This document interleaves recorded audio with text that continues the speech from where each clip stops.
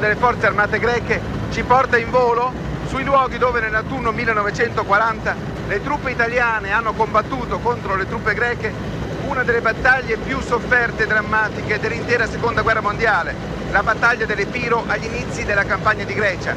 Siamo decollati da una base dell'ottava divisione di fanteria in Giannina, nel cuore dell'Epiro.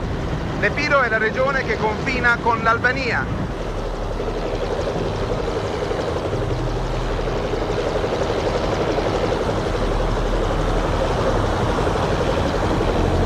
nella conca di Giannina, tra le colline e le piane di Calibachi, i soldati italiani del corpo d'armata Ciamuria hanno sferrato l'attacco centrale che avrebbe dovuto portare alla conquista del nodo di Calibachi. Stiamo sorvolando proprio in questo momento il nodo di Calibachi. Da Calibachi le truppe italiane avrebbero dovuto poi attuare una penetrazione in profondità a sud, verso la città di Giannina. Vista così dall'alto, questa zona dell'Epiro sembra una valle ideale per un'offensiva lampo appoggiata da mezzi adeguati.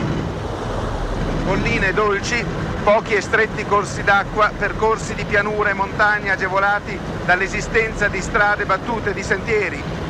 E tale è in realtà la zona in buone condizioni atmosferiche.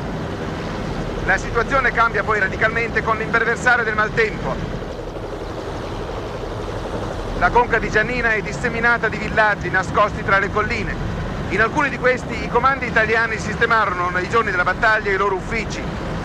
Sono villaggi poveri, abitati principalmente da pastori e contadini, attaccati alla loro terra e alle tradizioni nazionali. I fiumi, dall'apparenza innocua, durante l'autunno e l'inverno possono trasformarsi in torrenti impetuosi e minacciosi. Ne è un esempio il fiume Calamas, che può trasformare i terreni adiacenti in larghe aree paludose, capaci di bloccare uomini e mezzi. Ma la fetta di Epiro, che nel 1940 impegnò più drammaticamente i soldati italiani, è la catena montuosa del Pindo. Stiamo sorvolando in questo momento il massiccio più imponente del Pindo, lo Smolica, alto 2700 metri,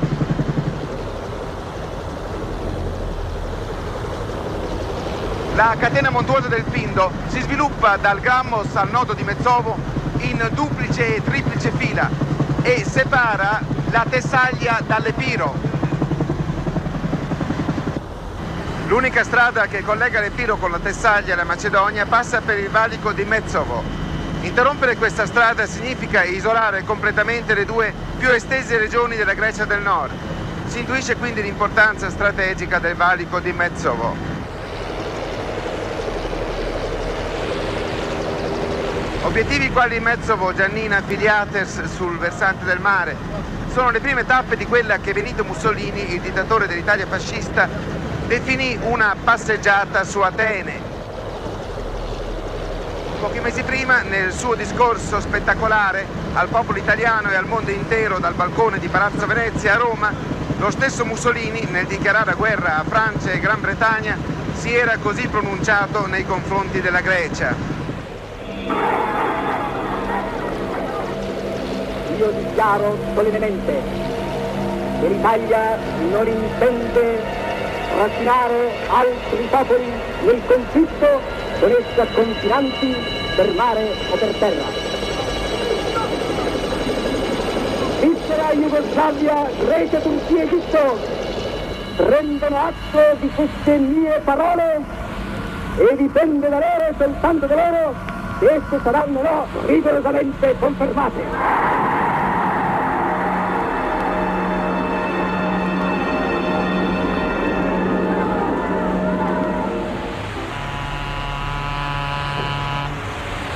Settembre 1940. Battaglioni di fanti e alpini italiani sbarcano nel porto di Durazzo, in Albania. Negli ultimi due mesi, circa 40.000 soldati sono stati trasferiti dall'Italia in territorio albanese. Per rafforzare il ruolo di grande potenza dell'Italia nei Balcani, Mussolini ha ordinato da tempo agli Stati Maggiori piani concreti di offensive sia contro la Jugoslavia che contro la Grecia. La politica di penetrazione fascista nei Balcani era passata all'azione militare nell'aprile 1939, quando l'Italia aveva occupato e annesso il regno indipendente d'Albania, già da anni sotto la protezione italiana.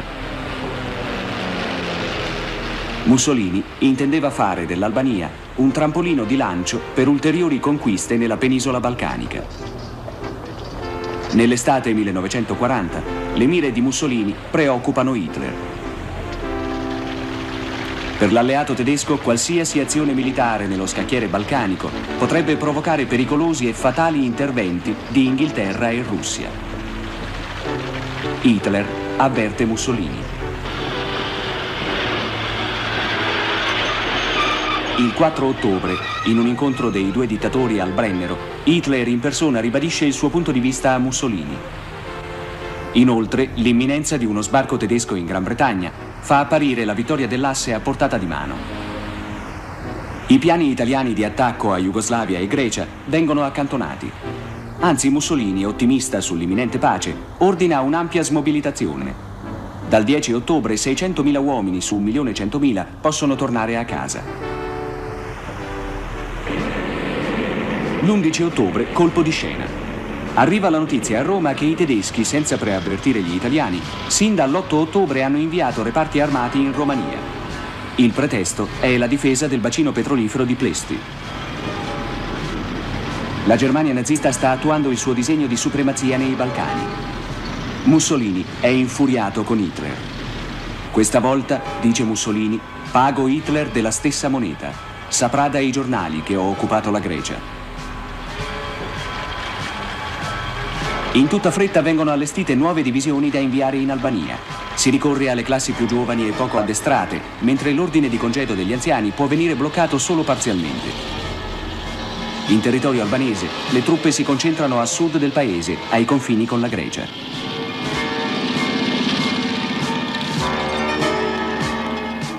Ero tenente degli Alpini alla divisione Giulia e precisamente aiutante maggiore del battaglione cividale. Improvvisamente la divisione fu trasferita dal nord al sud e passando per Tirana raggiungemmo le pendici del Monte Gramos che fa da confine fra l'Albania e la Grecia. Ci accampammo nei boschi del monte dove fummo visitati dal nostro comandante di reggimento e dal comandante della divisione Giulia che ci misero al corrente che fra non molto avremmo dovuto invadere la Grecia in condizioni di particolare difficoltà in quanto dovevamo completamente distaccarci da quelle che erano le nostre basi ed affrontare una, un periodo di circa una settimana di lunghe marce in territorio greco attraverso i monti della Grecia e dell'Epiro in particolare. Ero tenente dei bersaglieri alla divisione corazzata Centauro e precisamente aiutante maggiore del 24 battaglione. Alcuni giorni prima dell'inizio della campagna, da Clisura, dove eravamo attendati in Albania, ci portammo al confine con la Grecia e precisamente nella zona di, del confine di Cacavia. Ci trasferimmo con gli automezzi sotto la pioggia e la pioggia ci tormentò per eh, sette giorni circa le strade che erano a fonte naturale diventarono pantani. Eh, non si poteva uscire dalla strada perché il terreno eh, si affondava fino al ginocchio circa. Si diceva che la campagna di Grecia doveva iniziare eh, pochi giorni dopo e che la campagna sarebbe stata una passeggiata scolastica, la chiamavamo noi.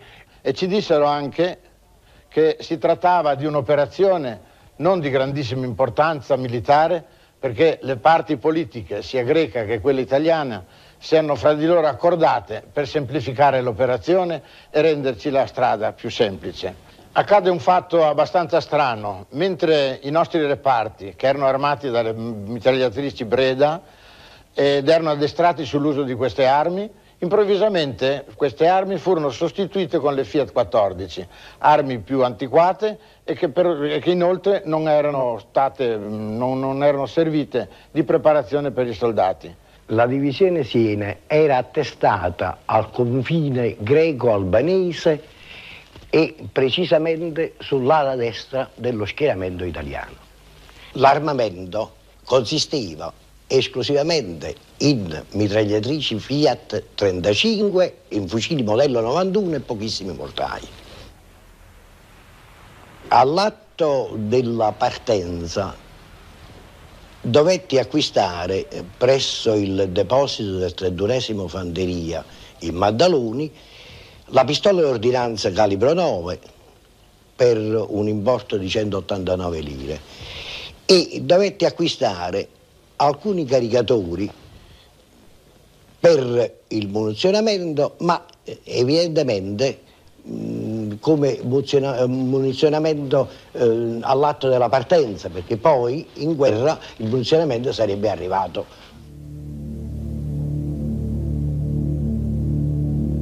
Atene, 26 ottobre. Mussolini ha deciso di far scattare il piano emergenza G alle prime luci dell'alba. Il maresciallo Badoglio, capo di Stato Maggiore Generale, è riuscito invece a ottenere dal Duce una proroga di 48 ore. L'obiettivo finale del piano è l'occupazione dell'intero territorio greco, dall'Epiro a Salonicco, a Atene, al Peloponneso, alle isole dello Ionio e dell'Egeo. Ad Atene, i vertici politici e militari del Regno di Grecia ignorano completamente l'imminenza dell'attacco italiano. Quello stesso 26 ottobre, un sabato, nella sede dell'ambasciata italiana di Atene si vivono ore di drammatica attesa. In mattinata un telegramma da Roma ha annunciato che nel corso della giornata sarebbero seguite comunicazioni cifrate urgenti e segretissime. Roma riprende le trasmissioni in codice all'ora del tramonto. Proprio quel giorno l'ambasciatore italiano ha invitato a cena esponenti politici greci per festeggiare la tradizionale amicizia tra Italia e Grecia.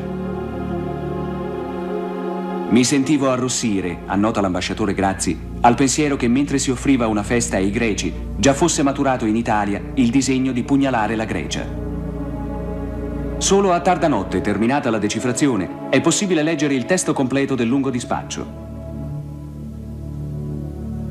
Il telegramma di Mussolini è un perentorio ultimatum italiano al governo greco. In assenza di accettazione, le truppe italiane alle 6 antimeridiane del 28 ottobre avrebbero avuto l'ordine di invadere la Grecia. Che cosa è accaduto a Roma da indurre Mussolini all'invio di tale ultimatum?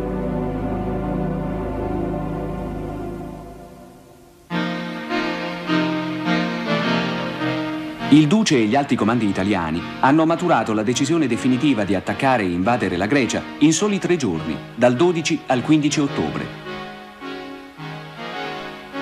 Nella mattinata del 15, Mussolini ha convocato una riunione ristretta e, sentito il parere favorevole del comandante superiore in Albania, ha dato gli ordini esecutivi.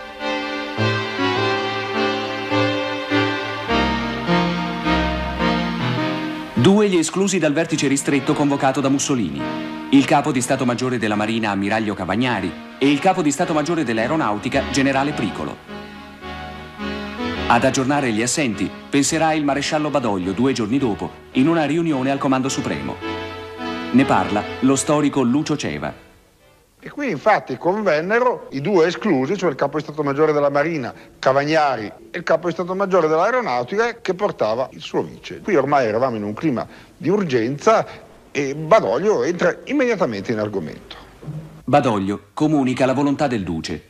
Il piano emergenza G verrà attuato verso l'Epiro con le forze dislocate in Albania. Una volta occupato l'Epiro, il comandante superiore in Albania chiede tre divisioni di rinforzo mediante sbarchi nel Golfo di Arta. Poi l'offensiva proseguirà in direzione di Atene.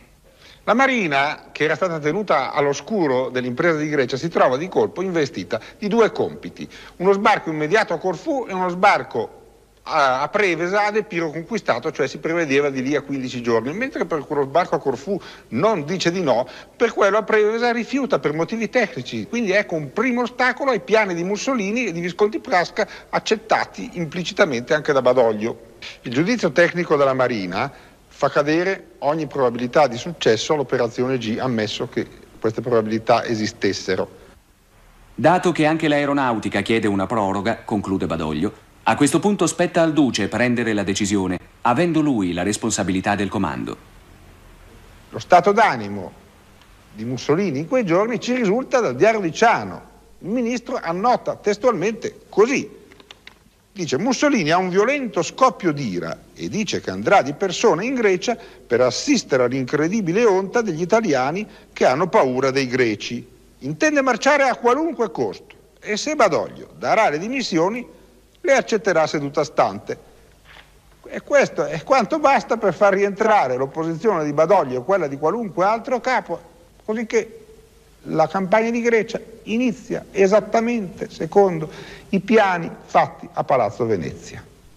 Atene, 28 ottobre. I quotidiani di Atene escono con la notizia dell'ultimatum italiano già consegnato al governo greco. È la guerra. A Mussolini i greci rispondono ochi, che significa no. Un chiaro no all'invasione italiana. Il primo ministro Metaxas fa leva sull'indignazione popolare contro la minaccia di un'invasione del paese. Il suolo della patria va difeso, dice Metaxas. La guerra che affrontiamo oggi è una guerra per l'onore.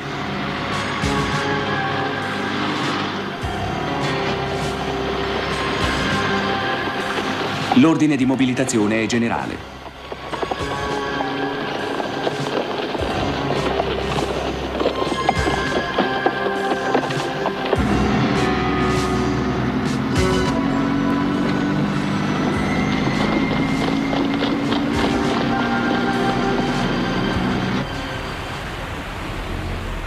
A Frondismeni, in Epiro, un villaggio non lontano dalla frontiera, due storici, l'italiano Roscià e il greco Malacassis, oggi si incontrano insieme a cittadini del luogo per chiarire alcuni retroscena politici di questa guerra. Paradossalmente i nostri rapporti con la Grecia erano sempre stati abbastanza buoni. Le nostre ambizioni di espansione dei Balcani si indirizzavano molto di più verso la Jugoslavia che non verso la Grecia. Fu soltanto nell'estate del 40 dopo che la nostra grande offensiva preparata contro la Jugoslavia era stata fermata dal desiderio di Hitler di non provocare disordini nei Balcani, che il gruppo di Ciano premette fortemente perché si attaccasse la Grecia.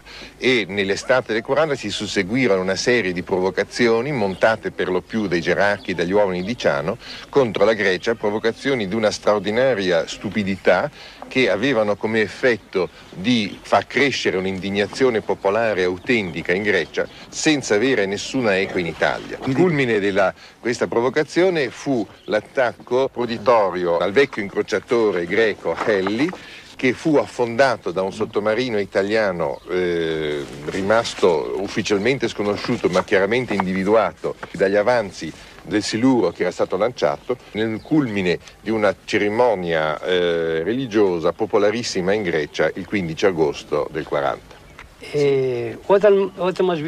Quel giorno, quando si seppe che la nave Ellie era stata affondata, fu per tutti una sorpresa enorme. Poi i sospetti caddero sugli italiani e tutti cominciarono a crederci. Ci dicevamo, ma perché? Che cosa sta succedendo? Che cosa vogliono gli italiani? La situazione mostrava due aspetti ben distinti. Da una parte c'era il regime dittatoriale di stampo fascista messo in piedi da Metaxas che rischiava di vacillare sotto la minaccia dell'aggressione italiana. Dall'altra vi era il popolo greco che, pur essendo per la maggioranza contrario al regime, davanti al pericolo di un'imminente invasione italiana, si raccoglieva attorno a Metaxas. Gli inglesi, alleati della Grecia, spingevano il governo greco a resistere agli italiani. D'altra parte, a Metaxas non rimaneva altra scelta che una resistenza a oltranza. L'aggressione alla Grecia apriva un terzo fronte principale per le forze armate italiane che erano già impegnate pesantemente in Africa settentrionale dove Graziani aveva appena marciato su Sidi el Barrani e dove cercava di avanzare ancora verso l'Egitto il secondo fronte, o forse il primo ancora per importanza, era il Mediterraneo centrale in cui la Marina e l'aviazione cercavano di acquisire il completo controllo contro la flotta inglese terzo fronte che si apriva e che avrebbe assorbito tutte le forze dell'esercito e parte di quelle dell'aviazione era appunto la Grecia. Come se ciò non bastasse, 170 aerei erano stati mandati a partecipare all'attacco contro l'Inghilterra.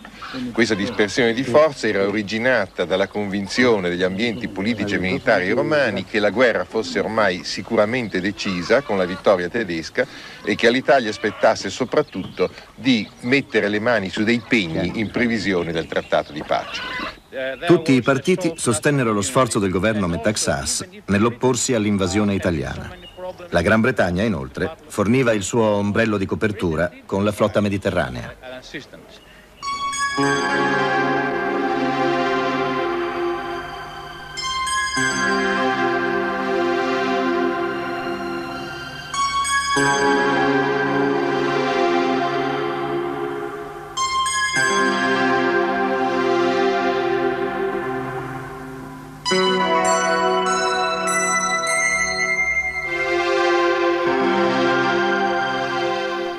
Ero sottotenente da pochi mesi alla divisione di fanteria Ferrara.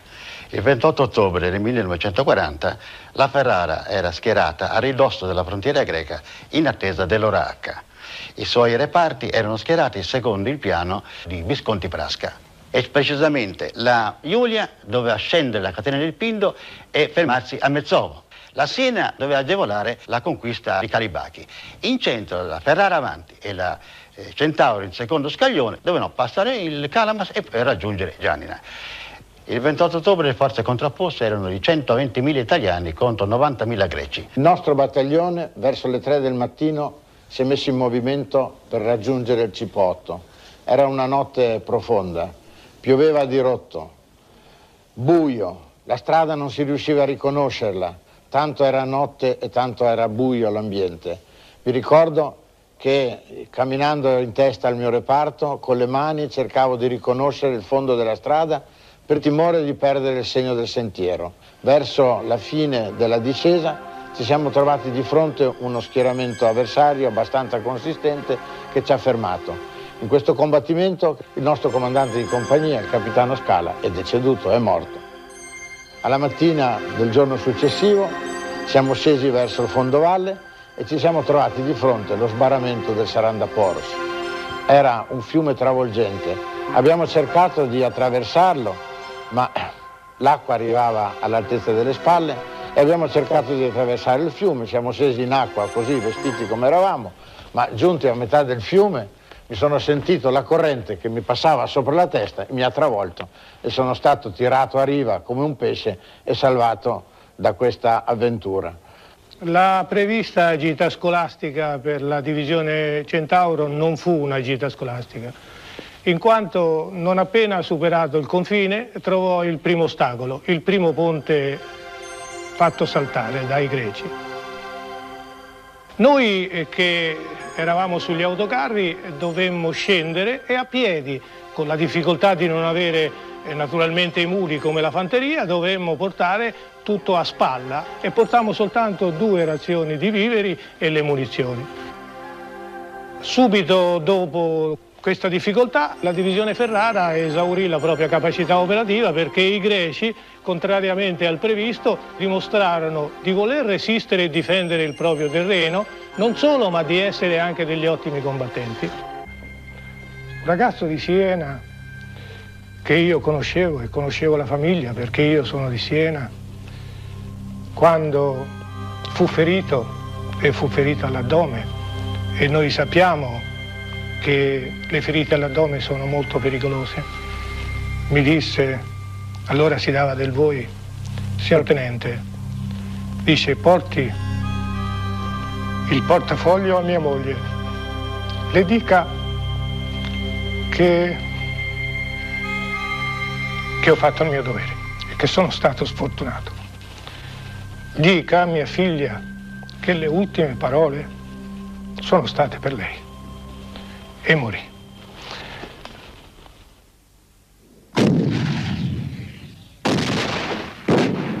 All'alba del 30 ottobre, dai monti dell'Epiro, l'artiglieria greca apre un fuoco martellante contro le colonne delle fanterie italiane. Sono passati due giorni dall'inizio dell'invasione Lampo. Dalle prime imboscate, i greci passano alla guerra di posizione. Anche le donne collaborano con le truppe al fronte assicurano collegamenti e rifornimenti. L'immediata reazione del popolo greco ha impedito alle truppe italiane di raggiungere gli obiettivi previsti. Le divisioni Ferrara e Siena non hanno occupato Giannina. Sul Pindo, gli alpini della Giulia non sono arrivati a Mezzovo.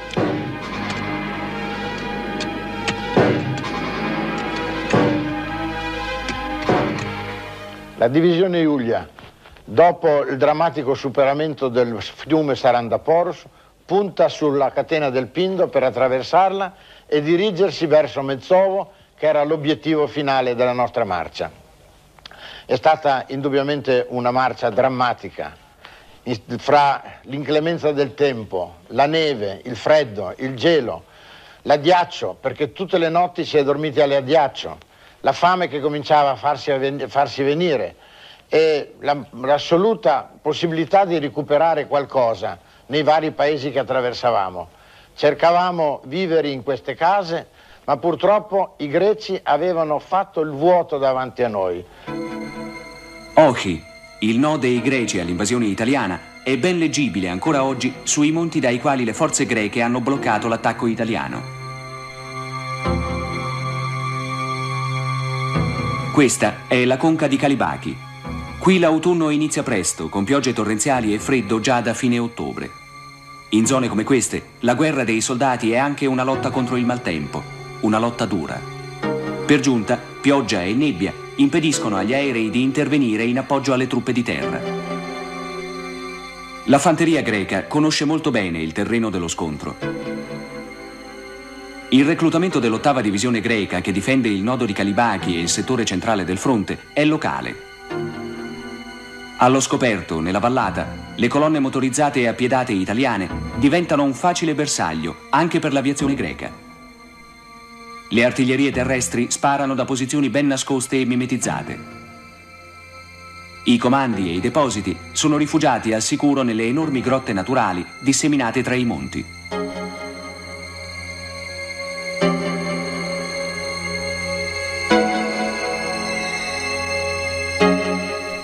Εγώ είμαι από την Αμφιθέα Ιωαννίνων. Λέγεται Στρούν. Sono di Anfitea, un villaggio vicino a Giannina. Ήταν Στρούν. Mi mandarono qui nella zona di Calibaki per lavori di fortificazione. Στο προξενείο. Πολύ στρατό έχει.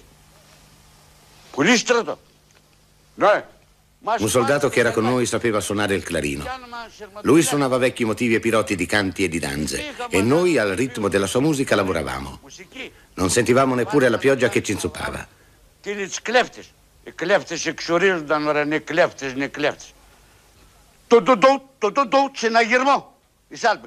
Quando suonava la tromba, noi dovevamo andare a combattere. Era il segnale dell'attacco. Καζάνια, ούτε φαγητά. Prendevamo munizioni e mitraglie, nient'altro. Niente vettovaglie, niente viveri o oggetti personali. Dovevamo respingere l'invasore. Ήταν προδιαγραμμένο το σχέδιο.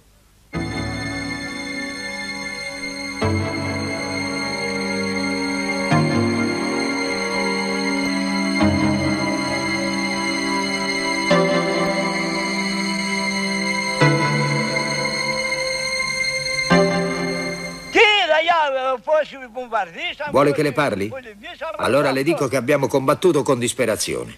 Abbiamo tirato bombe, tante bombe, ecco. Io, proprio io, qui accanto a quel ponte ho preso prigioniero un sergente italiano. Abbiamo trovato cadaveri e cadaveri e più in là un carro armato. Io allora sono entrato nel carro armato e ho preso tutto quello che c'era. La mitragliatrice, tutto, tutto. 30 ottobre, sera. Nel settore centrale del fronte italiano, le manovre contro le posizioni fortificate di Calibaki non hanno portato a risultati concreti. Le sagome dei monti di Calibaki appaiono ai soldati italiani come un muro minaccioso e invalicabile.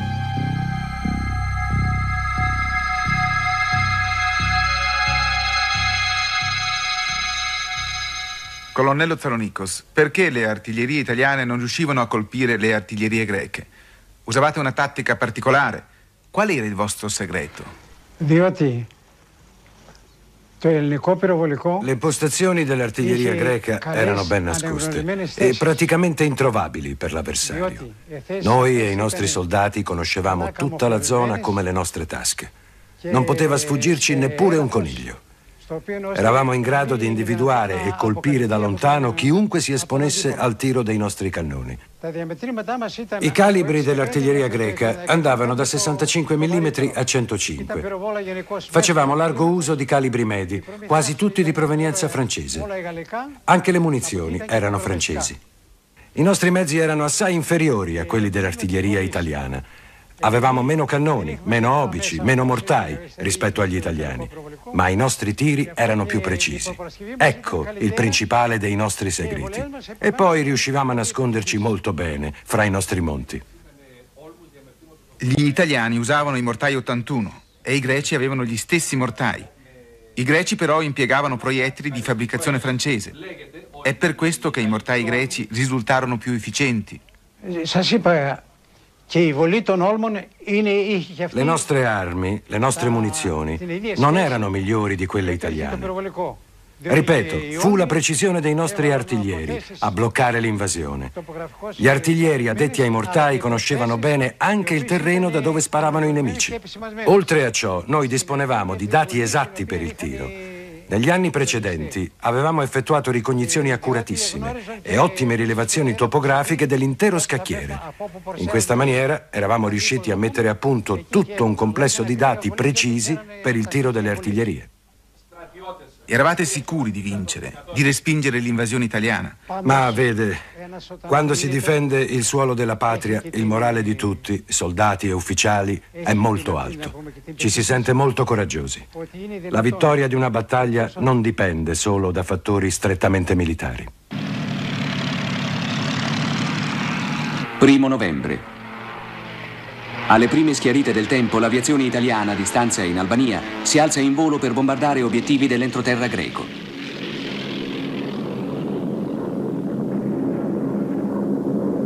Salonicco, Pireo, Corfù, Prevesa, Giannina sono le prime città attaccate di giorno e di notte.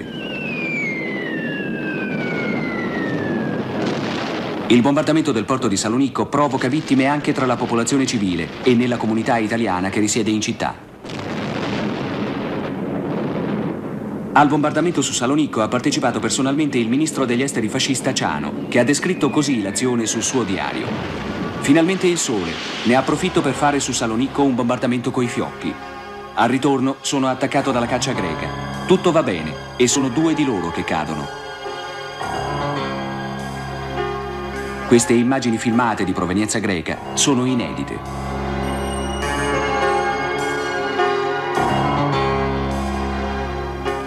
Il 4 novembre arrivò all'ordine di operazione, eccolo, questo è l'originale, eh, che eh, ordinava alla divisione corazzata Centauro di rompere al centro fra Polio Castro e Calibachi e di proseguire poi il più celermente possibile su Iannina.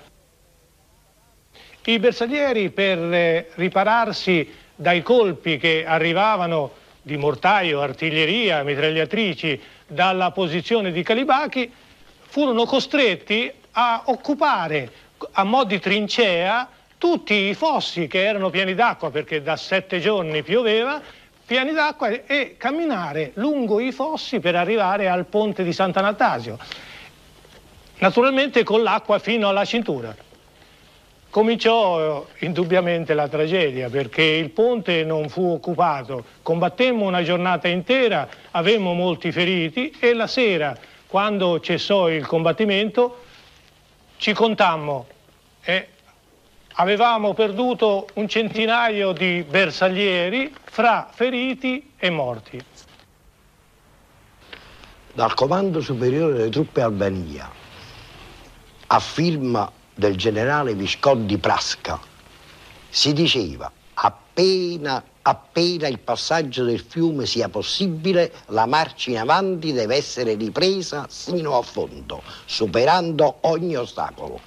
Ricordarsi che un battaglione incontrando una divisione la deve attaccare a fondo col suo comandante in testa. Voi che cosa pensate? Un ordine assolutamente sconcertante, data la situazione in cui venivamo a trovarci. In effetti, la divisione Sene era sul fondo valle e i greci si sparavano dai costoni.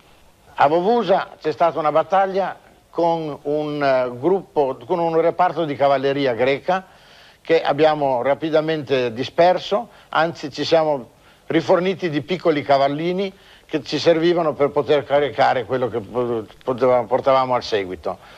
Ma da Vovusa è cominciato appunto l'ordine di ripiegamento. La divisione era già in fase di accerchiamento. L'ordine era quello di spostare completamente la direzione di marcia per cercare di raggiungere Konica. Nei giorni 5 e 6 la reazione greca fu violenta, mentre prima si è trattato di scontri di reparti minori, col 5 e 6 l'azione greca fu intensa. Quindi sono state giornate gravissime dove avevamo il terrore di non poter portare al nostro seguito i feriti, tant'è che in più occasioni abbiamo messo i feriti in piccole chiesette, li abbandonavamo lì con qualche medico zelante, con qualche cappellano militare di buona volontà e col nostro più amaro dolore lasciavamo i nostri feriti nelle mani dei greci. Il generale di cavalleria Nicolopoulos, all'epoca tenente, tagliò la ritirata degli alpini sulle forcelle dello Smolica. Generale Nicolopoulos, come avvenne la sua battaglia contro gli alpini della Iulia? Έφτασα στο Κεράσοβο στις 8 το βράδυ. Arrivai a Cherasovo con i miei uomini alle 8 di sera. Qui ricevemmo l'ordine di salire in cima al massiccio dello Smorica e di bloccare il transito per Mesorakis. La cima dello Smorica era a 2600 metri. Noi dovevamo appostarci più in basso, sulla forcella, a 2200 metri. Da lì avremmo dovuto impedire agli alpini della Giulia, in ritirata da Mezzovo verso Konica, di valicare il massiccio e ridiscendere le pendici per raggiungere Kerassovo, dove si trovava una nostra piccola guarnigione con viveri e magazzini. La fanteria greca aveva bloccato le strade principali per impedire la ritirata. Ora gli alpini dovevano cercare a tutti i costi di aprirsi un varco nella posizione tenuta dai miei soldati sullo Smolica. La Giulia si trova di fronte a circa 40.000 greci che stanno completando l'accerchiamento. Il battaglione cividale che era a Vovusa deve cercare di ritornare sue, sulla sua direzione, sul suo punto di partenza, ma trova tutte le strade del fondovalle bloccate dalle truppe greche. Non ha altra via di scampo che risalire sui monti e prende la strada dello Smolicas dove una mulattiera lo porta da Pades verso questo punto di passaggio. Sembra di poter aver raggiunto l'obiettivo, cioè di essere salvati, quando improvvisamente dai roccioni dello Smolica partono fitte raffiche di mitragliatrice che bloccano il movimento di questa colonna di alpini stanchi ed affamati, ma che ancora hanno voglia di combattere e di resistere. L'attacco degli italiani iniziò a mezzogiorno. Fu un attacco violentissimo. Gli alpini si avvicinavano, salivano rapidamente, ne sentivo le grida, gli ordini che venivano dati dagli ufficiali. Ormai non erano lontani dalle nostre mitragliatrici. 150 metri, 100 metri, 50. Noi sparammo all'impazzata. Molti alpini morivano sulle nostre mitragliatrici, ma non riuscirono ad aprirsi un varco per raggiungere la strada di fondovalle. Si cerca di impedire che le mitragliatrici più vicine danneggino il reparto si sviluppano combattimenti separati, tant'è che dopo alcune ore di lotte ripetute riusciamo a far passare il battaglione e farlo scendere verso il fondovalle. Sembra di essere tornati verso casa, ma purtroppo a un altro combattimento ci attende. Avevo spostato i miei uomini su nuove posizioni. A sera gli alpini tentano un nuovo attacco. Arrivano quasi in cima, ma sono costretti a retrocedere sotto i colpi delle nostre mitragliatrici. Sei mitragliatrici su Warzlose, micidiali sulle distanze brevi. Avevamo anche fucili mitragliatori e altre armi. Gli alpini ridiscendono le pendici. La situazione si calma. Sulla nostra destra c'era un burrone Salgono a noi delle grida, forse alcuni alpini sono riusciti a trovare un varco, pensiamo. Poi di nuovo calma. Quella notte l'abbiamo passata in bianco, senza cibo da mezzogiorno al gelo della neve e del ghiaccio, senza coperte. Alle 10 del mattino tutto ritorna tranquillo.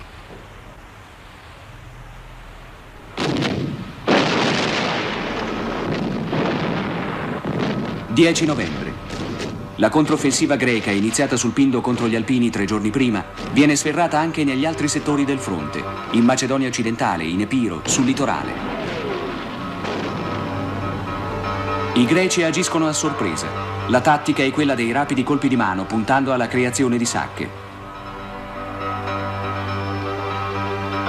Il cospicuo bottino di armi e munizioni italiane che cade in mani greche viene subito riutilizzato.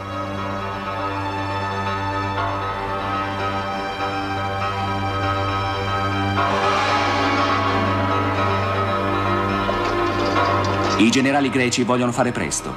L'inverno incombe.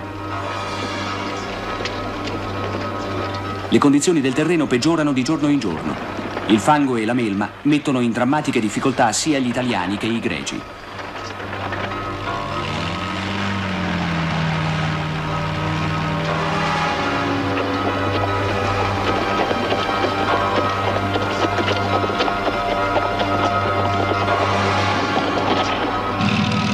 A causa del terreno melmoso, spesso persino gli aerei da caccia e da bombardamento non riescono a levarsi in volo.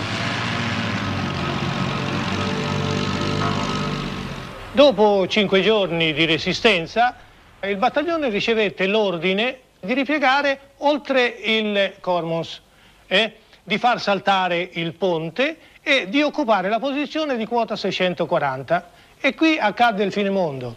Noi resistemmo lì due giorni e l'ultimo giorno, per la verità, i bersaglieri avevano finito anche le bombe a mano, tanto è vero che alcuni, siccome c'era terreno carsico, come nel Far West, cominciò a gettare pietre contro i greci che venivano avanti.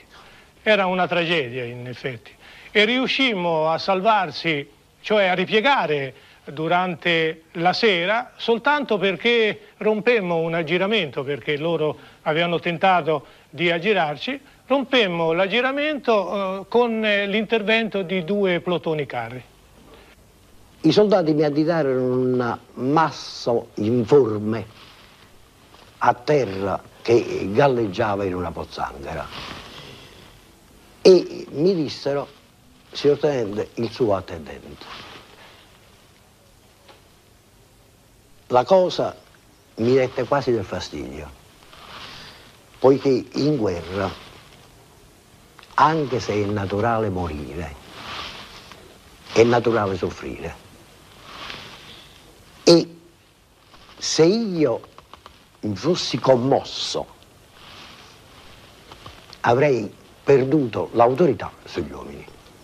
Mi rivolsi agli uomini che me lo additavano e quasi con alterigia eh, dissi va bene, oggi a lui, domani a un altro.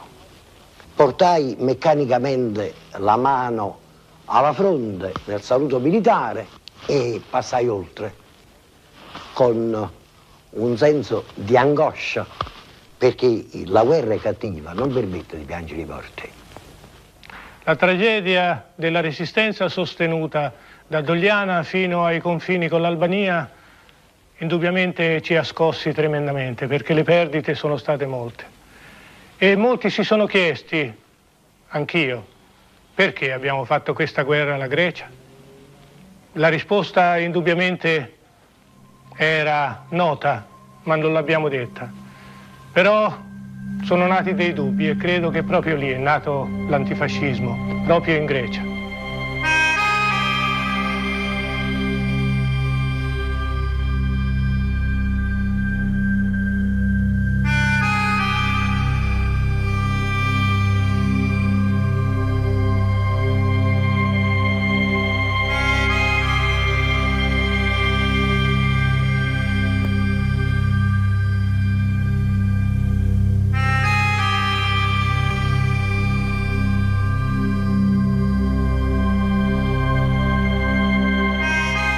19 novembre. I comandi d'armata diramano gli ordini di arretramento dell'intero fronte su posizioni difensive in territorio albanese.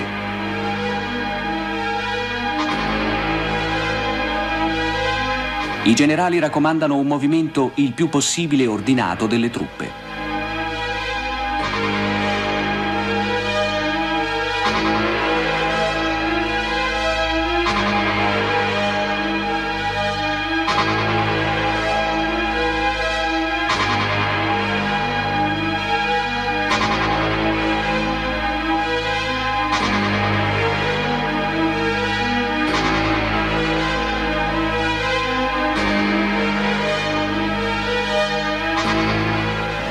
Su questa strada, che 22 giorni prima aveva visto la calata delle fanterie italiane dirette ad Atene, i resti delle divisioni Ferrara e Centauro arretrano nel caos e nella disperazione.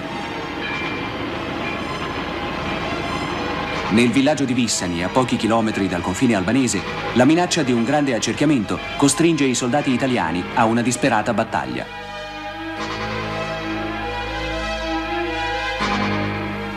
Qui a Vissani è arrivato un reggimento di circa 5.000 soldati italiani. Si sono sistemati sulle alture che circondano il paese.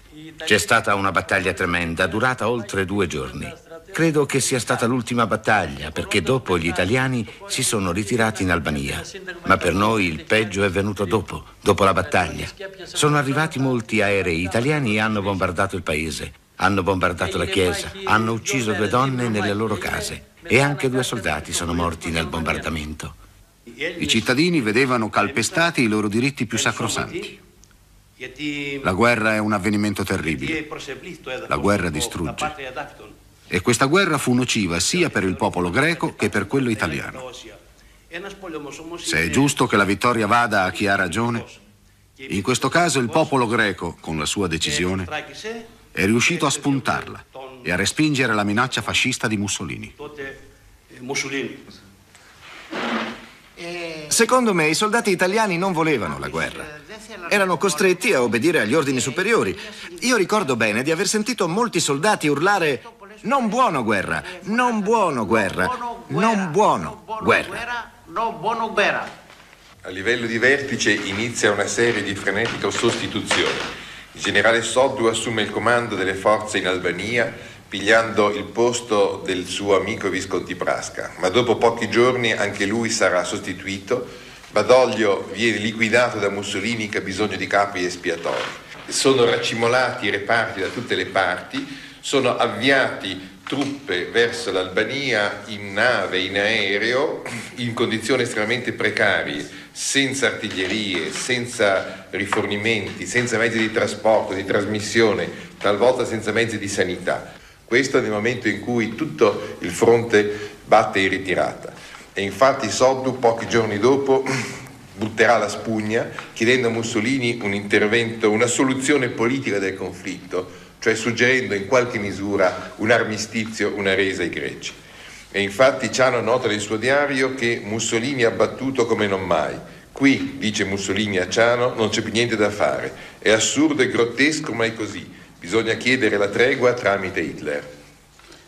Yes, the Italian uh, surprise attack not only failed L'insuccesso italiano in Grecia rischia di trasformarsi in una catastrofe tra i monti dell'Albania meridionale. I tedeschi, seriamente preoccupati di un'egemonia inglese nei Balcani, pensano a come poter mediare la situazione creatasi fra greci e italiani. Un successo decisivo degli inglesi nei Balcani, provocato dalla vittoria greca, trascinerebbe con sé irreparabili conseguenze sul corso generale della guerra. Da parte greca non sono pochi i generali disposti a favorire una pace con l'Italia, per il timore di un intervento in forze dei tedeschi.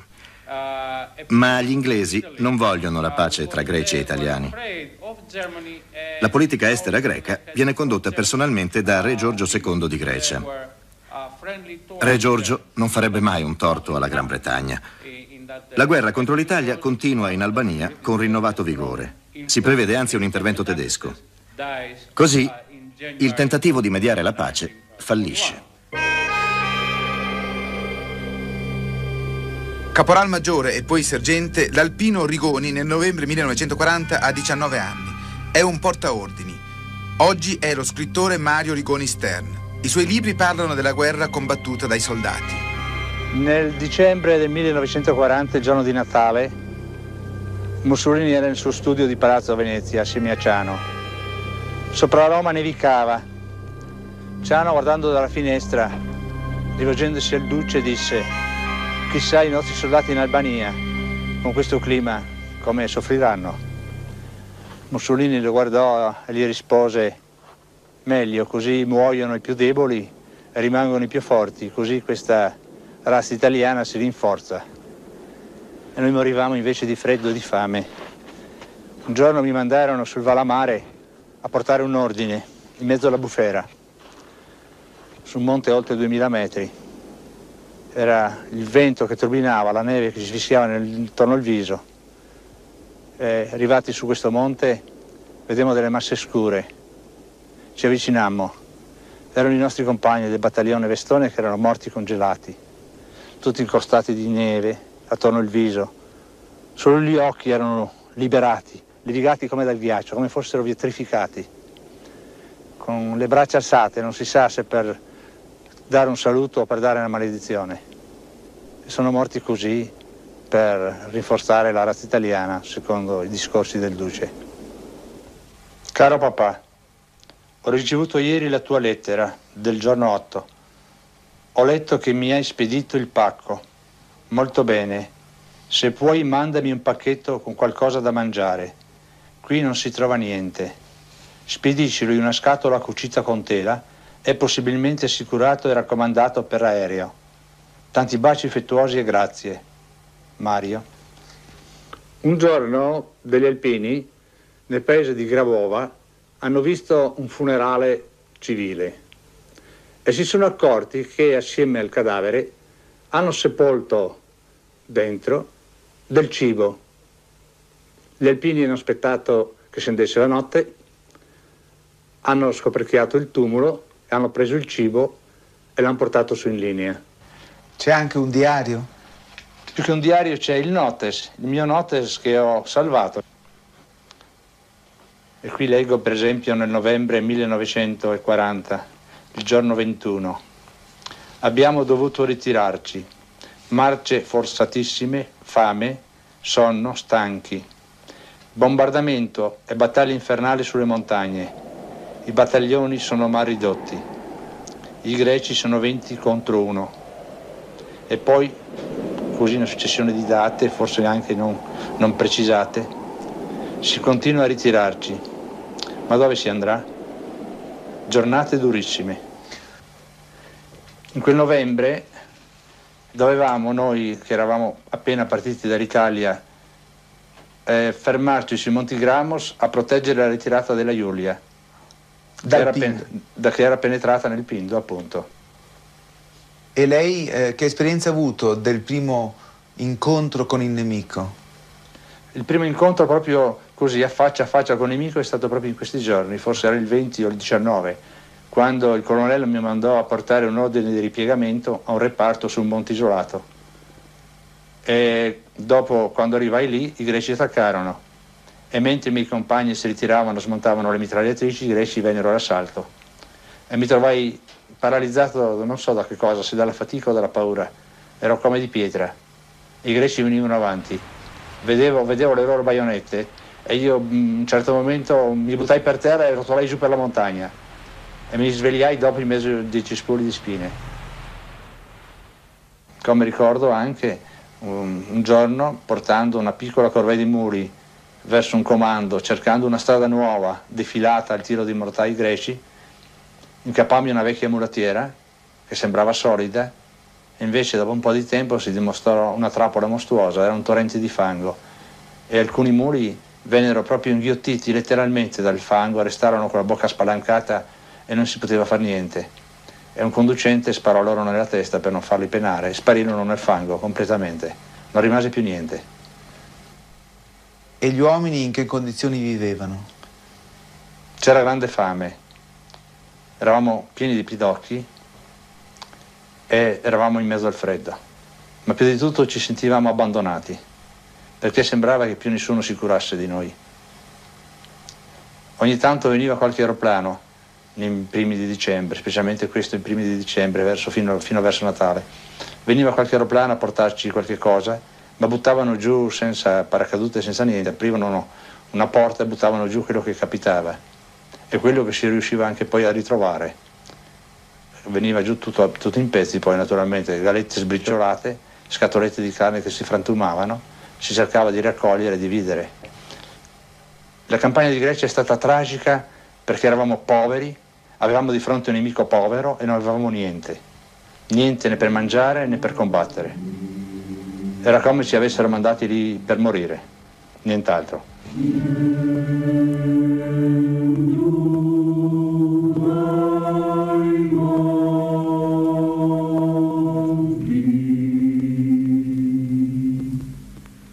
novembre. L'ultima tragedia in territorio greco si consuma per gli alpini nella difesa di Ponte Perati.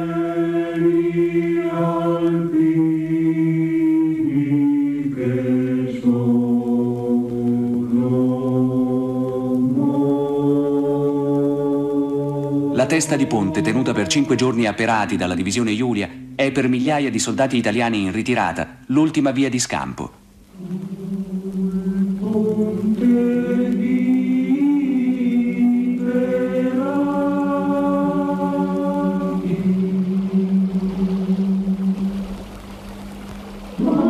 Acque del fiume Voiussa muoiono centinaia di alpini.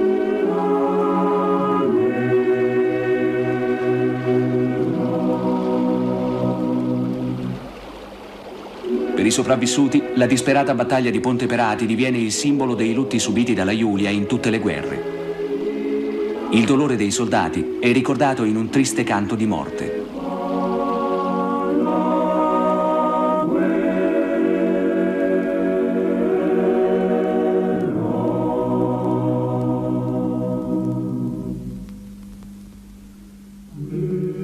Dell'inverno 1940-41, i fanti e gli alpini italiani dovranno resistere a una dura guerra di posizione sui monti dell'Albania, sotto il fuoco incessante delle artiglierie greche. Tepeleni, Monastir, Clisura sono alcuni dei luoghi in cui continua la tragedia della campagna di Grecia. In campo italiano, fra morti, dispersi e congelati, il numero delle vittime, secondo i dati ufficiali, supera i 150.000 uomini. In campo greco le vittime sono circa 80.000.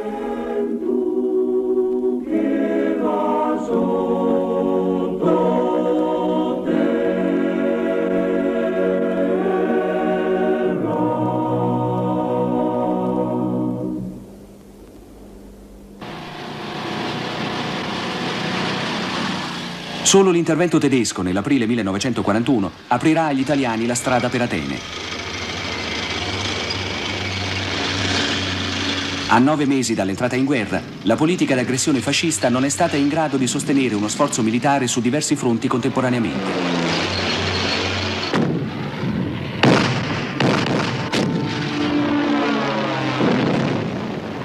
Dall'Africa settentrionale all'impero etiopico alla Grecia, gli eserciti italiani sono in ritirata. L'ambizione di Mussolini di portare a termine un disegno di conquiste nel bacino del Mediterraneo senza l'alleato tedesco fallisce.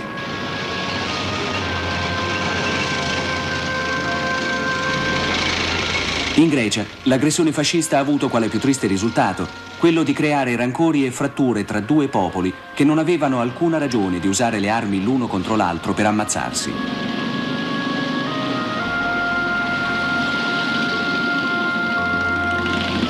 Gli interventi tedeschi in Africa settentrionale e in Grecia segnano la fine di quella che per Mussolini doveva essere una guerra parallela a quella dell'alleato tedesco.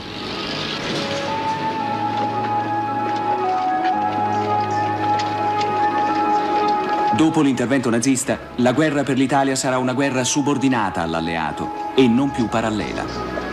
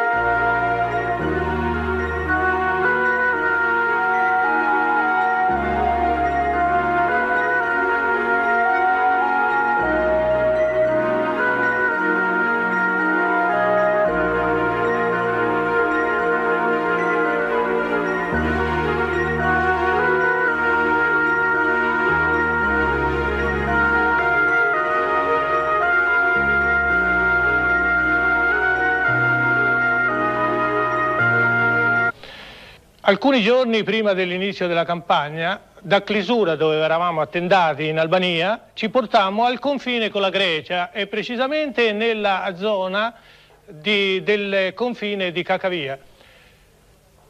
Ci trasferimmo con gli automezzi sotto la pioggia e la pioggia ci tormentò per eh, sette giorni circa.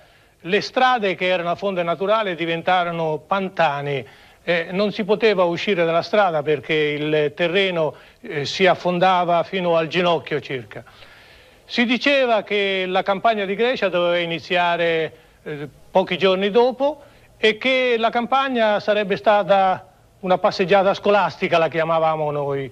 E ci dissero anche che si trattava di un'operazione non di grandissima importanza militare, perché le parti politiche, sia greca che quella italiana, si hanno fra di loro accordate per semplificare l'operazione e renderci la strada più semplice. Accade un fatto abbastanza strano, mentre i nostri reparti, che erano armati dalle mitragliatrici Breda ed erano addestrati sull'uso di queste armi, improvvisamente queste armi furono sostituite con le Fiat 14, armi più antiquate e che, per, e che inoltre non erano, state, non, non erano servite di preparazione per i soldati. La divisione Siena era attestata al confine greco-albanese e precisamente sull'ala destra dello schieramento italiano. L'armamento consisteva esclusivamente in mitragliatrici Fiat 35, in fucili modello 91 e pochissimi mortai. All'atto della partenza dovetti acquistare eh, presso il deposito del 31 Fanteria in Maddaloni la pistola di ordinanza calibro 9 per un importo di 189 lire. E dovetti acquistare alcuni caricatori per il munizionamento ma eh, evidentemente come munizionamento eh, all'atto della partenza, perché poi in guerra il munizionamento sarebbe arrivato.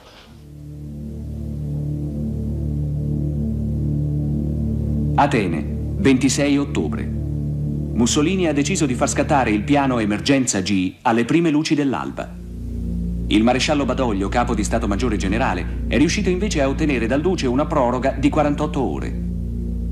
L'obiettivo finale del piano è l'occupazione dell'intero territorio greco, dall'Epiro a Salonicco, a Atene, al Peloponneso, alle isole dello Ionio e dell'Egeo. Ad Atene, i vertici politici e militari dell'inizio della campagna, da Clisura, dove eravamo attendati in Albania, ci portammo al confine con la Grecia e precisamente nella zona di, del confine di Cacavia. Ci trasferimmo con gli automezzi sotto la pioggia e la pioggia ci tormentò per eh, sette giorni circa. Le strade che erano a fonte naturale diventarono pantani. Eh, non si poteva uscire dalla strada perché il terreno eh, si affondava fino al ginocchio circa. Si diceva che la campagna di Grecia doveva iniziare eh, pochi giorni dopo e che la campagna sarebbe stata una passeggiata scolastica, la chiamavamo noi e ci dissero anche che si trattava di un'operazione non di grandissima importanza militare perché le parti politiche, sia greca che quella italiana, si hanno fra di loro accordate per semplificare l'operazione e renderci la strada più semplice. Accade un fatto abbastanza strano, mentre i nostri reparti, che erano armati dalle mitragliatrici Breda ed erano addestrati sull'uso di queste armi, Improvvisamente queste armi furono sostituite con le Fiat 14, armi più antiquate e che, per, e che inoltre non erano, state, non, non erano servite di preparazione per i soldati. La divisione Siena era attestata al confine greco-albanese e precisamente sull'ala destra dello schieramento italiano. L'armamento consisteva esclusivamente in mitragliatrici Fiat 35, in fucili modello 91 e pochissimi mortai. All'atto della partenza dovetti acquistare presso il deposito del 31 Fanteria in Maddaloni la pistola di ordinanza calibro 9 per un importo di 189 lire e dovette acquistare alcuni caricatori per il munizionamento, ma eh, evidentemente mh, come munizionamento eh, all'atto della partenza, perché poi in guerra il munizionamento sarebbe arrivato.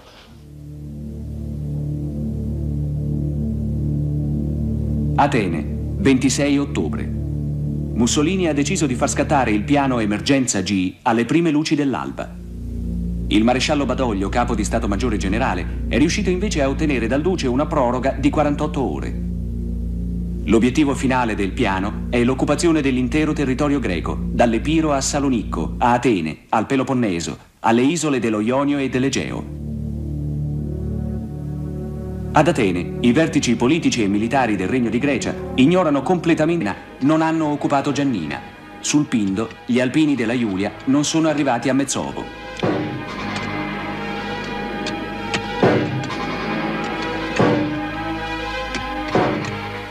La divisione Iulia, dopo il drammatico superamento del fiume Sarandaporos, punta sulla catena del Pindo per attraversarla e dirigersi verso Mezzovo, che era l'obiettivo finale della nostra marcia. È stata indubbiamente una marcia drammatica, fra l'inclemenza del tempo, la neve, il freddo, il gelo, l'addiaccio, perché tutte le notti si è dormiti all'addiaccio, la fame che cominciava a farsi, a farsi venire e l'assoluta possibilità di recuperare qualcosa nei vari paesi che attraversavamo. Cercavamo viveri in queste case, ma purtroppo i greci avevano fatto il vuoto davanti a noi. Ochi, il no dei greci all'invasione italiana, è ben leggibile ancora oggi sui monti dai quali le forze greche hanno bloccato l'attacco italiano. Questa è la conca di Calibaki. Qui l'autunno inizia presto, con piogge torrenziali e freddo già da fine ottobre. In zone come queste, la guerra dei soldati è anche una lotta contro il maltempo, una lotta dura. Per giunta, pioggia e nebbia impediscono agli aerei di intervenire in appoggio alle truppe di terra. La fanteria greca conosce molto bene il terreno dello scontro. Il reclutamento dell'ottava divisione greca che difende il nodo di Calibaki e il settore centrale del fronte è locale. Allo scoperto, nella vallata, le colonne motorizzate e appiedate italiane diventano un facile bersaglio anche per l'aviazione greca. Le artiglierie terrestri sparano da posizioni ben nascoste e mimetizzate. I comandi e i depositi sono rifugiati al sicuro nelle enormi grotte naturali disseminate tra i monti.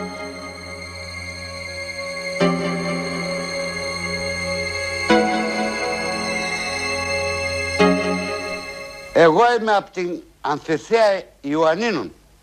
Λέγεται Στρούν. Sono di Anfitea, un villaggio vicino a Giannina. Ήταν Στρούν. Mi mandarono qui nella zona di Calibaki per lavori di fortificazione. Στο προξενείο. Πολύ στρατό έχει. Πολύ στρατό. Ναι. Un soldato che era con noi sapeva suonare il clarino. Lui suonava vecchi motivi e pirotti di canti e di danze e noi al ritmo della sua musica lavoravamo. Non sentivamo neppure la pioggia che ci inzuppava.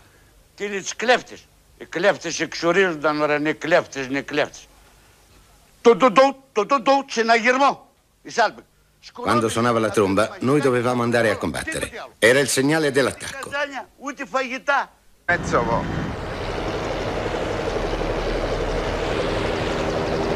Obiettivi quali Mezzovo, Giannina, Filiates sul versante del mare, sono le prime tappe di quella che Benito Mussolini, il dittatore dell'Italia fascista, definì una passeggiata su Atene. Pochi mesi prima, nel suo discorso spettacolare al popolo italiano e al mondo intero dal balcone di Palazzo Venezia a Roma, lo stesso Mussolini, nel dichiarare guerra a Francia e Gran Bretagna, si era così pronunciato nei confronti della Grecia. Io dichiaro solennemente che l'Italia non intende trascinare altri popoli nel conflitto con essi confinanti per mare o per terra. Svizzera, Jugoslavia, Grecia, Turchia, Egitto prendono atto di queste mie parole e dipende da loro, soltanto da loro, se esse saranno no rigorosamente confermate.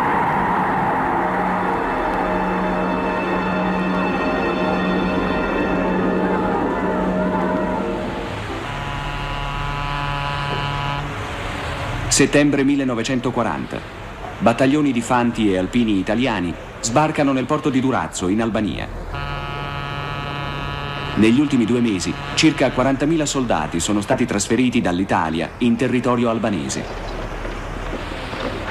Per rafforzare il ruolo di grande potenza dell'Italia nei Balcani, Mussolini ha ordinato da tempo agli Stati Maggiori piani concreti di offensive sia contro la Jugoslavia che contro la Grecia. La politica di penetrazione fascista nei Balcani era passata all'azione militare nell'aprile 1939, quando l'Italia aveva occupato e annesso il regno indipendente d'Albania, già da anni sotto la protezione italiana. Mussolini intendeva fare dell'Albania un trampolino di lancio per ulteriori conquiste nella penisola balcanica. Nell'estate 1940 le mire di Mussolini preoccupano Hitler. Per l'alleato tedesco qualsiasi azione militare nello scacchiere balcanico potrebbe provocare pericolosi e fatali interventi di Inghilterra e Russia. Hitler avverte Mussolini. Il 4 ottobre, in un incontro dei due dittatori al Brennero, Hitler in persona ribadisce il suo punto di vista a Mussolini. Inoltre, l'imminenza di uno sbarco tedesco in Gran Bretagna fa apparire la vittoria dell'asse a portata di mano. I piani italiani di attacco a Jugoslavia e Grecia vengono accantonati. Anzi, Mussolini, ottimista sull'imminente pace, ordina un'ampia smo... Barco, pensiamo. Poi, di nuovo calma. Quella notte l'abbiamo passata in bianco, senza cibo da mezzogiorno al gelo della neve e del ghiaccio, senza coperte. Alle 10 del mattino tutto ritorna tranquillo.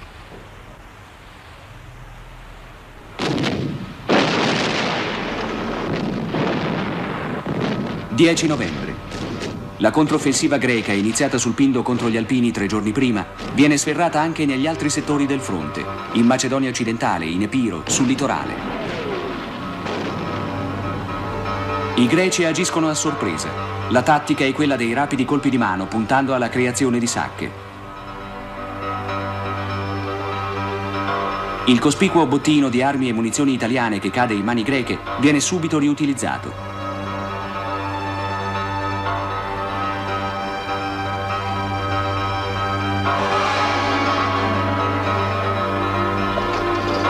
I generali greci vogliono fare presto. L'inverno incombe. Le condizioni del terreno peggiorano di giorno in giorno. Il fango e la melma mettono in drammatiche difficoltà sia gli italiani che i greci.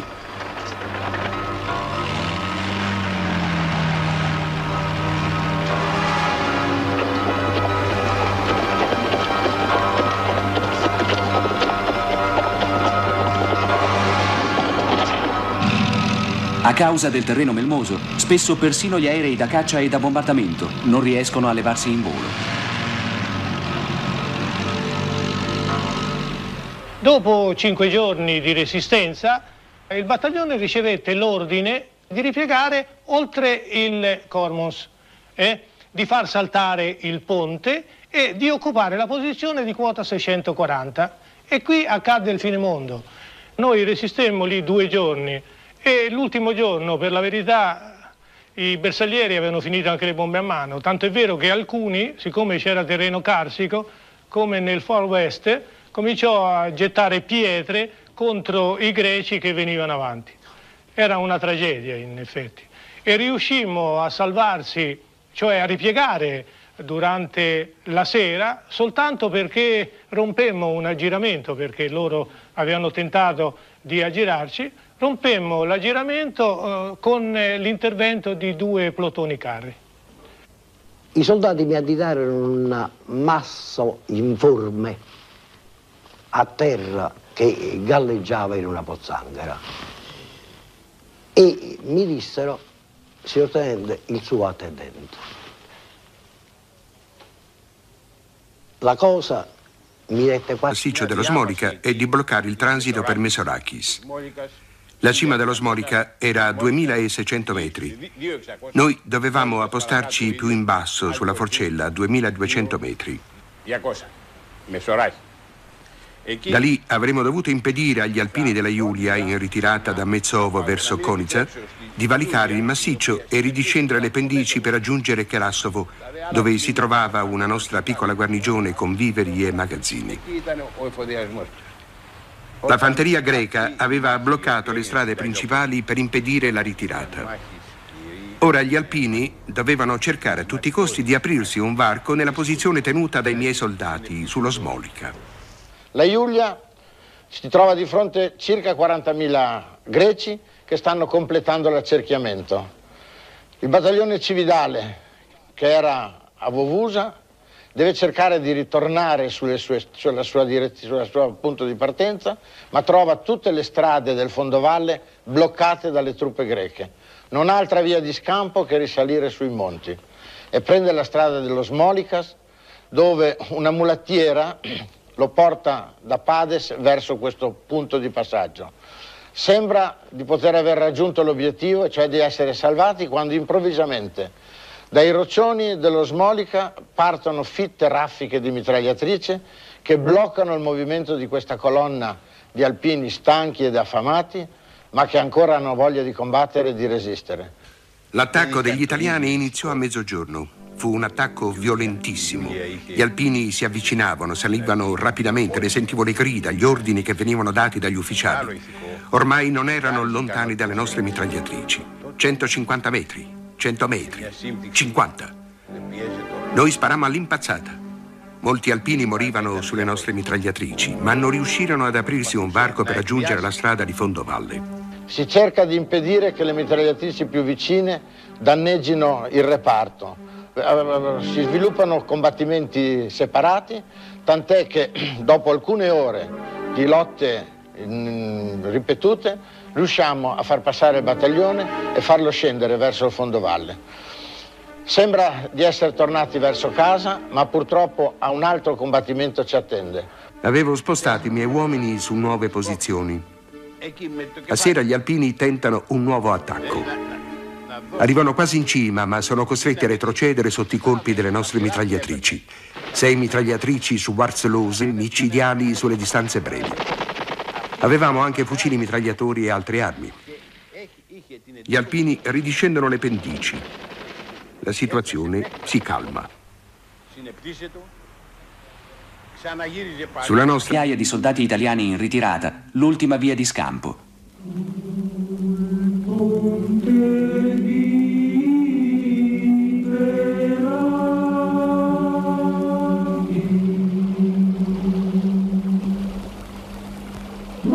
Nelle acque del fiume Voiussa muoiono centinaia di alpini.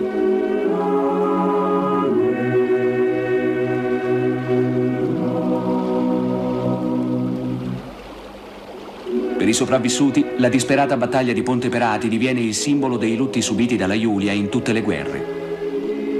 Il dolore dei soldati è ricordato in un triste canto di morte.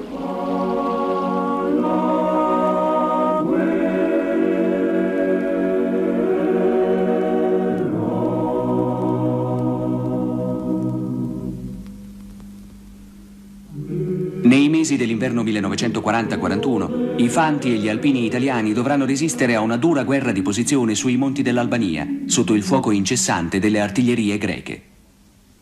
Tepeleni, Monastir, Clisura sono alcuni dei luoghi in cui continua la tragedia della campagna di Grecia. In campo italiano, fra morti, dispersi e congelati, il numero delle vittime, secondo i dati ufficiali, supera i 150.000 uomini. In campo greco le vittime sono circa 80.000.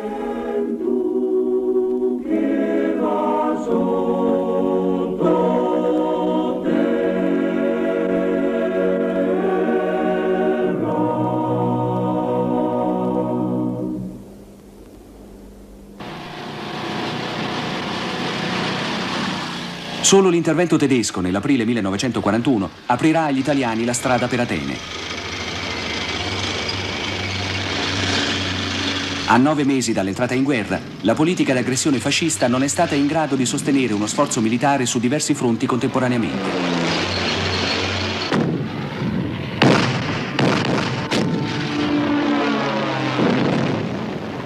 Dall'Africa settentrionale all'impero etiopico alla Grecia, gli eserciti italiani sono in ritirata. L'ambizione di Mussolini di portare a termine un disegno di conquiste nel bacino del Mediterraneo senza l'alleato tedesco fallisce.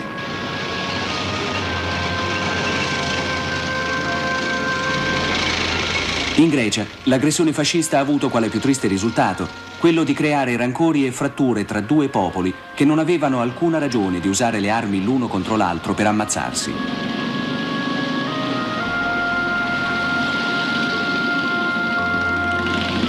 Gli interventi tedeschi in Africa settentrionale e in Grecia segnano la fine di quella che per Mussolini doveva essere una guerra parallela a quella dell'alleato tedesco, del bacino petrolifero di Plesti. La Germania nazista sta attuando il suo disegno di supremazia nei Balcani. Mussolini è infuriato con Hitler. Questa volta, dice Mussolini, pago Hitler della stessa moneta. Saprà dai giornali che ho occupato la Grecia. In tutta fretta vengono allestite nuove divisioni da inviare in Albania. Si ricorre alle classi più giovani e poco addestrate, mentre l'ordine di congedo degli anziani può venire bloccato solo parzialmente. In territorio albanese, le truppe si concentrano a sud del paese, ai confini con la Grecia.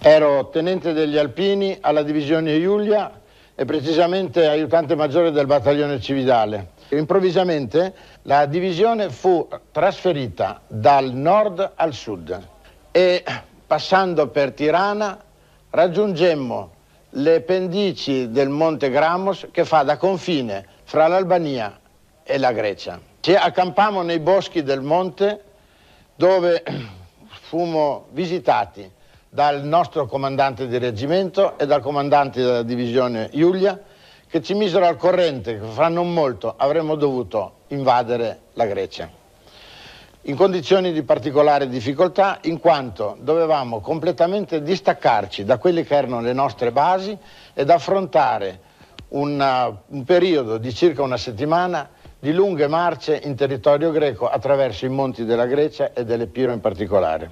Ero tenente dei bersaglieri alla divisione corazzata Centauro e precisamente aiutante maggiore del 24 battaglione. Alcuni giorni prima dell'inizio della campagna, da Clisura, dove eravamo attendati in Albania, ci portammo al confine con la Grecia e precisamente nella zona di, del confine di Cacavia. Ci trasferimmo con gli automezzi sotto la pioggia e la pioggia ci tormentò per eh, sette giorni circa le strade che erano a fonte naturale diventarono pantani. Eh, non si poteva uscire dalla strada perché il terreno eh, si affondava fino al ginocchio circa. Si diceva che la campagna di Grecia doveva iniziare eh, pochi giorni dopo e che la campagna sarebbe stata una passeggiata scolastica, la chiamavamo noi. E ci dissero anche che si trattava di un'operazione non di grandissima importanza militare, perché le parti politiche, sia greca che quella italiana, si hanno fra di loro accordate per semplificare l'operazione e renderci la strada più semplice. Accade un fatto abbastanza strano, mentre i nostri reparti, che erano armati dalle mitragliatrici... La strada perché il terreno eh, si affondava fino al ginocchio circa. Si diceva che la campagna di Grecia doveva iniziare eh, pochi giorni dopo, e che la campagna sarebbe stata una passeggiata scolastica, la chiamavamo noi. E ci dissero anche che si trattava di un'operazione non di grandissima importanza militare, perché le parti politiche, sia greca che quella italiana, si hanno fra di loro accordate per semplificare l'operazione e renderci la strada più semplice. Accade un fatto abbastanza strano, mentre i nostri reparti, che erano armati dalle mitragliatrici Breda, ed erano addestrati sull'uso di queste armi. Improvvisamente queste armi furono sostituite con le Fiat 14, armi più antiquate e che, per, e che inoltre non erano, state, non, non erano servite di preparazione per i soldati. La divisione Siena era attestata al confine greco-albanese e precisamente sull'ala destra dello schieramento italiano. L'armamento consisteva esclusivamente in mitragliatrici Fiat 35, in fucili modello 91 e pochissimi mortai. All'atto della partenza dovetti acquistare presso il deposito del 31 Fanteria in Maddaloni la pistola di ordinanza calibro 9 per un importo di 189 lire e dovetti acquistare alcuni caricatori per il munizionamento, ma eh, evidentemente mh, come munizionamento eh, all'atto della partenza, perché poi in guerra il munizionamento sarebbe arrivato.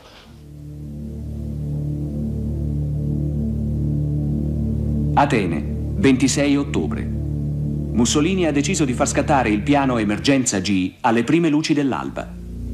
Il maresciallo Badoglio, capo di Stato Maggiore Generale, è riuscito invece a ottenere dal Duce una proroga di 48 ore. L'obiettivo finale del piano è l'occupazione dell'intero territorio greco, dall'Epiro a Salonicco, a Atene, al Peloponneso, alle isole dello Ionio e dell'Egeo. Ad Atene, i vertici politici e militari del Regno di Grecia ignorano completamente l'imminenza dell'attacco italiano. Quello stesso 26 ottobre, un sabato, nella sede dell'ambasciata italiana di Atene si vivono ore di drammatica attesa. In mattinata un telegramma da Roma ha annunciato che nel corso della giornata sarebbero seguite comunicazioni cifrate urgenti e segretissime. Roma riprende le trasmissioni in codice all'ora del tramonto. Pro- Avevamo anche fucili mitragliatori e altre armi. Gli alpini ridiscendono le pendici. La situazione si calma. Sulla nostra destra c'era un burrone.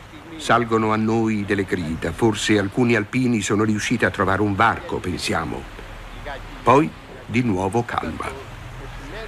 Quella notte l'abbiamo passata in bianco, senza cibo da mezzogiorno al gelo della neve e del ghiaccio, senza coperte.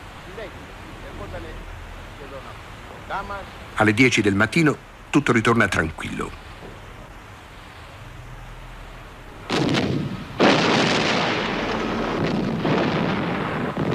«10 novembre. La controffensiva greca, iniziata sul Pindo contro gli alpini tre giorni prima, viene sferrata anche negli altri settori del fronte, in Macedonia occidentale, in Epiro, sul litorale. I greci agiscono a sorpresa. La tattica è quella dei rapidi colpi di mano, puntando alla creazione di sacche. Il cospicuo bottino di armi e munizioni italiane che cade in mani greche viene subito riutilizzato.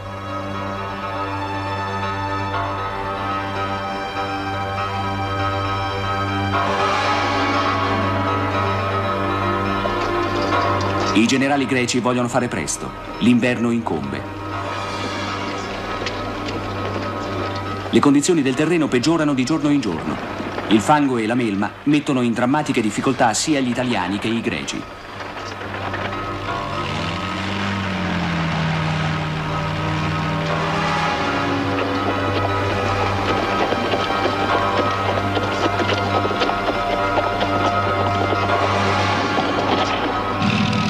A causa del terreno melmoso, spesso persino gli aerei da caccia e da bombardamento non riescono a levarsi in volo.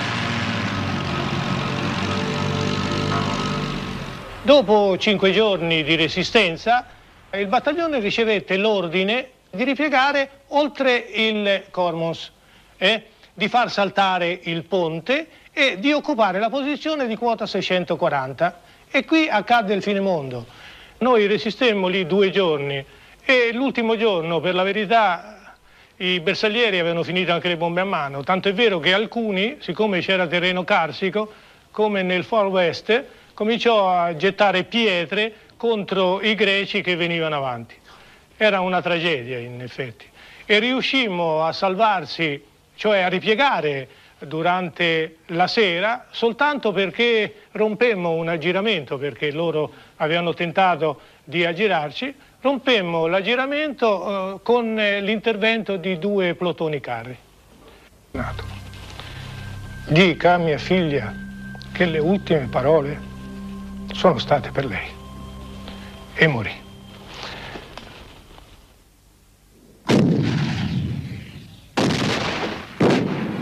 All'alba del 30 ottobre, dai monti dell'Epiro, l'artiglieria greca apre un fuoco martellante contro le colonne delle fanterie italiane.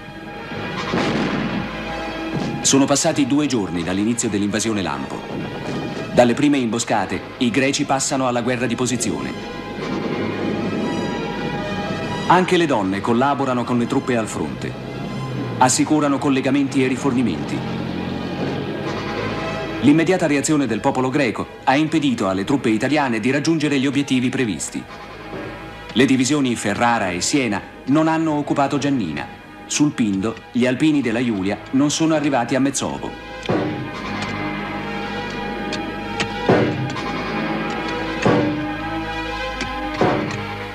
La divisione Giulia, dopo il drammatico superamento del fiume Sarandaporos, punta sulla catena del Pindo per attraversarla e dirigersi verso Mezzovo, che era l'obiettivo finale della nostra marcia. È stata indubbiamente una marcia drammatica, fra l'inclemenza del tempo, la neve, il freddo, il gelo, l'addiaccio, perché tutte le notti si è dormiti all'addiaccio, la fame che cominciava a farsi, a farsi venire e l'assoluta possibilità di recuperare qualcosa nei vari paesi che attraversavamo. Cercavamo viveri in queste case, ma purtroppo i greci avevano fatto il vuoto davanti a noi. Ochi, il no dei greci all'invasione italiana è ben leggibile ancora oggi sui monti dai quali le forze greche hanno bloccato l'attacco italiano. Questa è la conca di Calibaki. Qui l'autunno inizia presto, con piogge torrenziali e freddo già da fine ottobre. In zone come queste, la guerra dei soldati è anche una lotta contro il maltempo, una lotta dura. Per giunta, pioggia e nebbia impediscono agli aerei di intervenire in appoggio alle truppe di terra. La fanteria greca conosce molto bene il terreno dello scontro. Il reclutamento dell'ottava divisione greca che difende il nodo di Calibaki e il settore centrale del fronte è locale. Allo scoperto, nella vallata, le colonne motorizzate e appiedate italiane diventano un facile bersaglio anche per l'aviazione greca. Le artiglierie terrestri sparano da posizioni ben nascoste e mimetizzate. I comandi e i depositi sono rifugiati al sicuro nelle enormi grotte naturali disseminate tra i monti. In territorio albanese.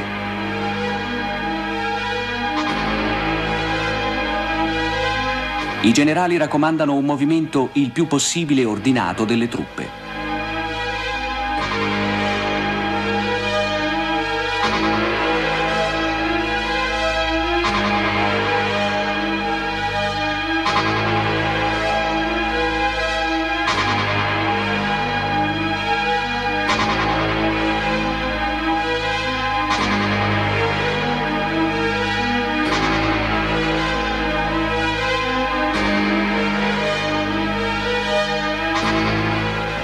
Su questa strada, che 22 giorni prima aveva visto la calata delle fanterie italiane dirette ad Atene, i resti delle divisioni Ferrara e Centauro arretrano nel caos e nella disperazione.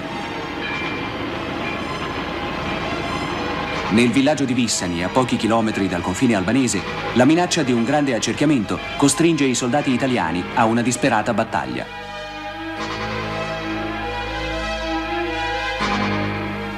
Qui a Vissani è arrivato un reggimento di circa 5.000 soldati italiani. Si sono sistemati sulle alture che circondano il paese.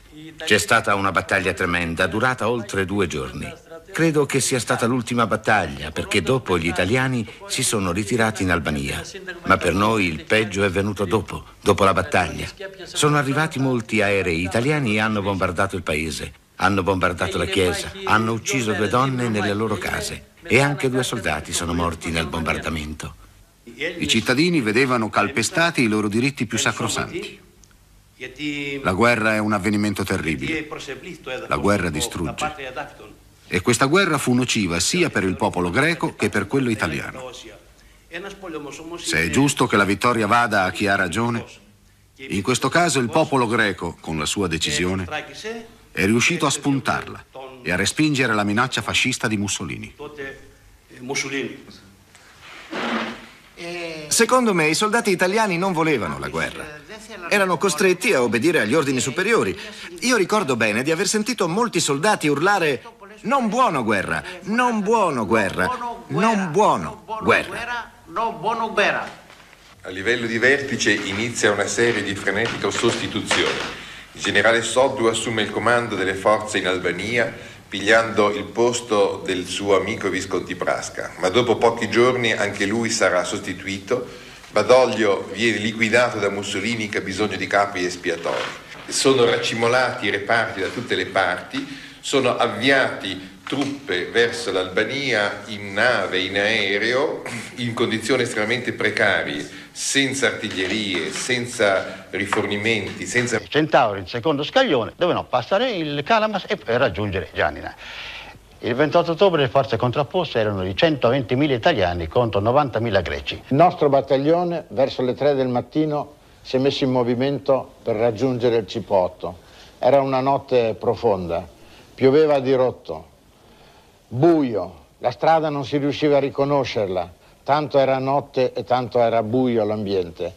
Vi ricordo che camminando in testa al mio reparto, con le mani cercavo di riconoscere il fondo della strada per timore di perdere il segno del sentiero.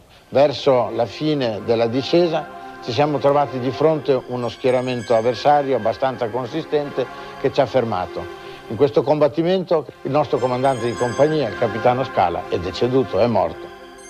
Alla mattina del giorno successivo siamo scesi verso il fondovalle e ci siamo trovati di fronte allo sbarramento del Sarandaporos. Era un fiume travolgente.